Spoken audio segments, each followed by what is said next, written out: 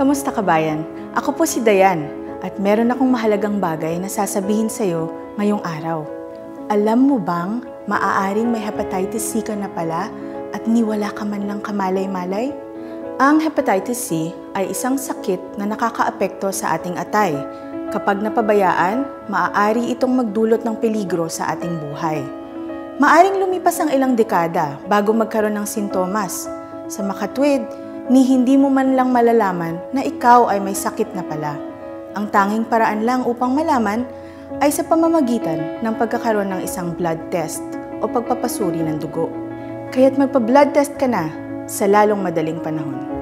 Para sa dagdag kaalaman, pumunta sa yourlanguage.hepcinfo.ca. Katie, ahensyang pinagmumulan ng impormasyon tungkol sa HIV at Hep C sa Canada.